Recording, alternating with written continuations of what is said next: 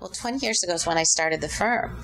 So, um, and my first employee, Suma Greenwald, is still with us.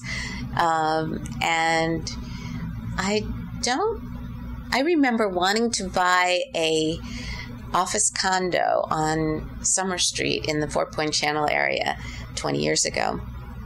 And a friend of mine who was a commercial real estate broker said to me, You can't buy it. You have no idea how big or small you're going to be and what you'll need and what you want.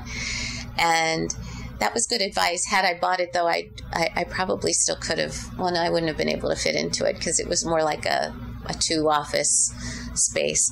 Um, but I do feel like uh, architects do not make good real estate developers, but we definitely have vision for space and how to solve problems with space. And the question is 20 years later, um, we've solved a lot of problems for our clients.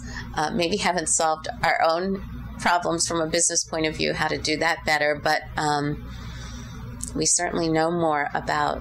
Um, client service and what that means about leadership and about um, not just listening to the client and being a drafting service. And when the client says jump, you say how high, but instead you say why are you jumping? And I think this is the this is the intelligence that and the experience that we bring 20 years later that I don't think I could have imagined understood 20 years ago the way I do today.